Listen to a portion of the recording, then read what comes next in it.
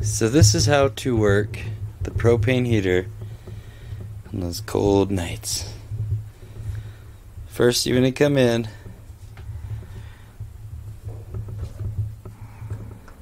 Turn it to pilot.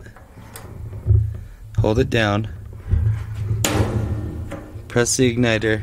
Sometimes you have to press the igniter a few times.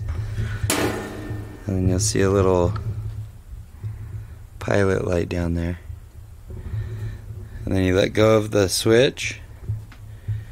Turn it all the way to one or two. And then you'll see the flame. Now this flame has a thermostat so it will turn off but it will kick back on. Our ideal temperature is usually one at night.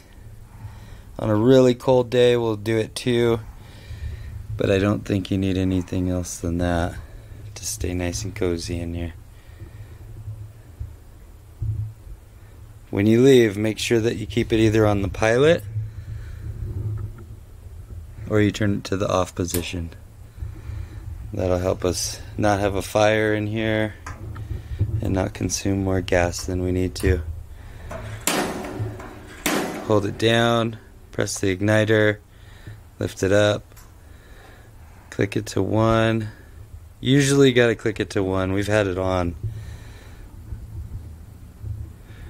And there it is.